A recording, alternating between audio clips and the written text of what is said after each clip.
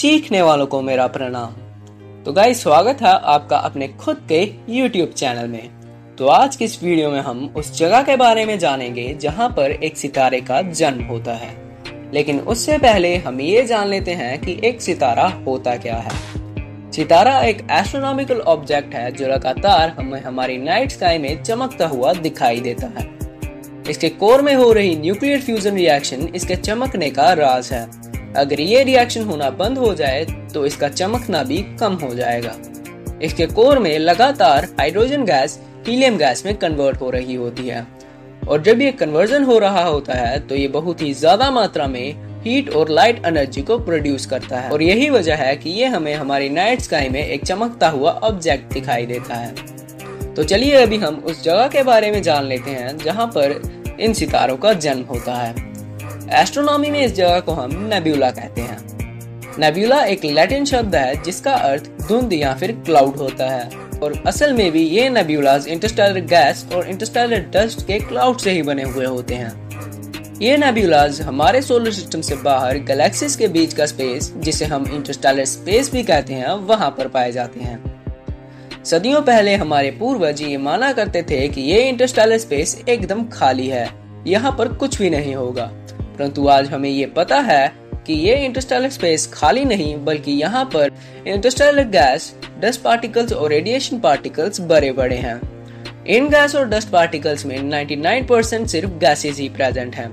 99 percent की gases में 75 percent की गैस का मास हाइड्रोजन गैस कवर करता है और बाकी की 25 परसेंट की गैस का मास हीलियम गैस कवर करता है।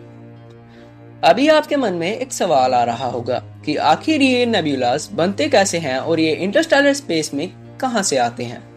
तो मैंने अभी अभी आपको बताया कि इंटरस्टेलर स्पेस में बहुत ही ज़्यादा मात्रा में गैस और डस्ट पार्टिकल्स पाए जाते हैं।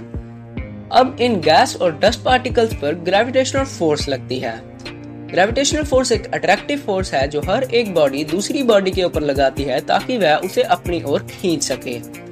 हमारा सूरज भी हमारे ऊपर एक फोर्स लगाता है, परंतु उसका हमसे बहुत ज़्यादा दूर होने की वजह से और हमारा मास उसके कंपेयर में बहुत ही कम होने की वजह से हम इस फोर्स को एक्सपीरियंस नहीं कर पाते हैं।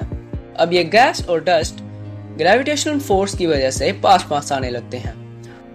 ये सारे गैस डस्ट और radiation particles mutual gravitational force of attraction की वजह से पास पास आने लगते हैं और ये एक खूबसूरत ऑब्जेक्ट को जन्म देते हैं, जिसे हम नेब्यूला कहते हैं। सदियों पहले हमारे दादा पर दादाजी स्पेस में बिखरी हुई किसी भी बड़ी चीज़ को नेब्यूला ही कहते थे। ट्वेंटी सेंचुरी से पहले जब गैलेक्सीज की कोई डेफिनेट डेफिनेशन नहीं बनी थी, तब हमारी पड़ोसी गैलेक्सी एंड्रोमेडा गैलेक्सी को एंड्रोमेडा गैलेक्सी नहीं, बल्कि एंड्रोमेडा नेब्यूला कहा जाता था। और बाकी भी कुछ स्पाइरल गैलेक्सीज को स्पाइरल गैलेक्सीज नहीं, बल्कि स्पाइरल नेब्यूलास कहा जाता था। फिर धीरे धीरे हमारी एस्ट्रोनॉमी में एडवांसमेंट हुई और आज हमें इन सभी चीज़ों के बारे में पता है।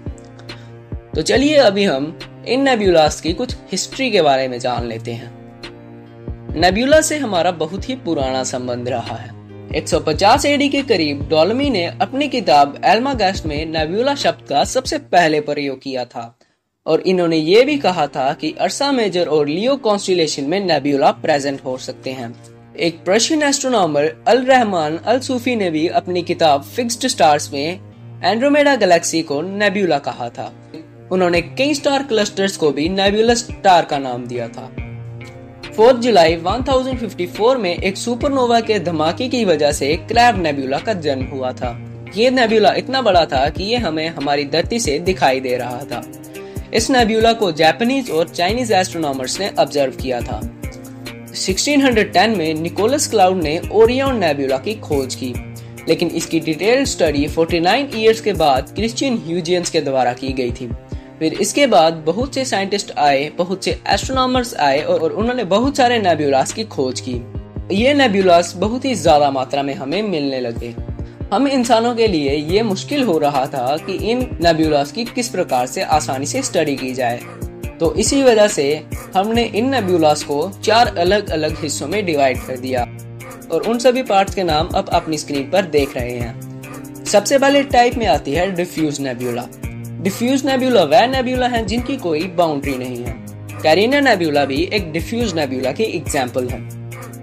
डिफ्यूज नेब्यूला के भी आगे दो खुद के भाग हैं। एक एमिशन नेब्यूला दूसरा रिफ्लेक्शन नेब्यूला एमिशन नेब्यूला में आयोनाइज्ड हाइड्रोजन गैस प्रेजेंट होती है। आयोनाइज्ड हाइड्रोजन गैस होने की वजह से ये स्पेक्ट्रल लाइन को रेडिएट करता है और यही वजह है कि ये चमकता हुआ दिखाई देता है।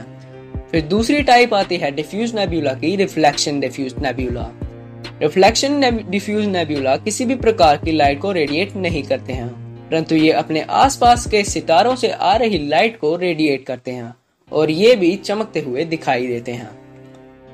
फिर दूसरी टाइप आती है डार्क नेब्यूलास डार्क नेब्यूलास ना तो किसी प्रकार की लाइट को रिफ्लेक्ट करते हैं और ना ही किसी प्रकार की लाइट को रेडिएट करते हैं।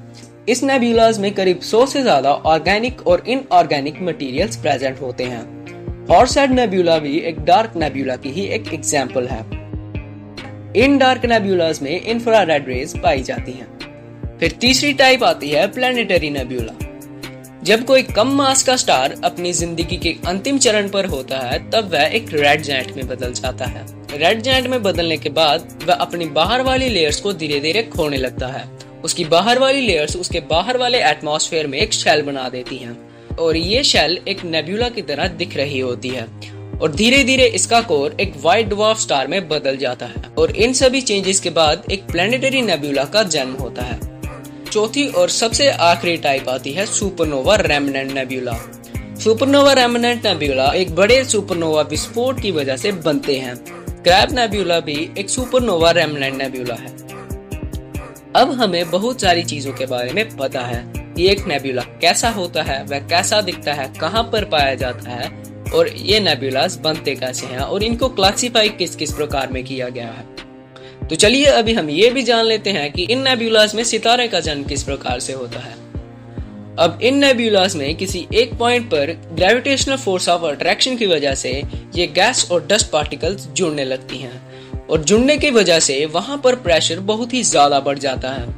प्रेशर इंक्रीज होने की वजह से वहाँ पर पाई जाने वाली हाइड्रोजन गैस में न्यूक्लियर फ्यूजन रिएक्शन होना शुरू हो जाती है।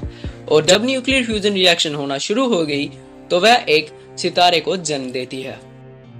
हमारी गैलेक्सी का सबसे बड़े स्टार फॉर्मिंग रीजन में आने वाला नेब्यूला ओमेगा नेब्यूला है।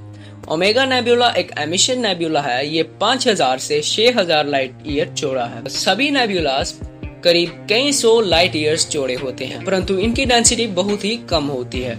वैसे तो इन नेबुलास की डेंसिटी एक परफेक्ट वैक्यूम होती है, परंतु हमारी धरती पर क्रिएट किए गए किसी भी प्रकार के वैक्यूम से इनकी डेंसिटी कम होती है। ओरियन नेबुला हमारी गैलेक्सी का सबसे ज़्यादा चमकीला नेबुला है। ये नेबुला हमारी धरती से आसानी से देखा जा सकता है। यूनिवर्स में इंटरस्टेलर स्पेस में बहुत सारी गैस और डस्ट पार्टिकल्स पाई जाती हैं। बस यूनिवर्स को इस चीज़ का इंतज़ार रहता है कि कब ये गैस और डस्ट पार्टिकल्स जुड़ जाएँ और एक नेब्यूला को जन्म दे दें। अगर आपको ये वीडियो पसंद आई होगी तो इस वीडियो को लाइक कर दीजिएगा और शेयर करना चाहते हैं तो शेयर भी कर दीजिएगा। तो मिलते हैं हम हमारी अगली वीडियो में, तब तक के लिए अपना ख्याल रखिए और नई नई चीज़ें सीखते रहिए।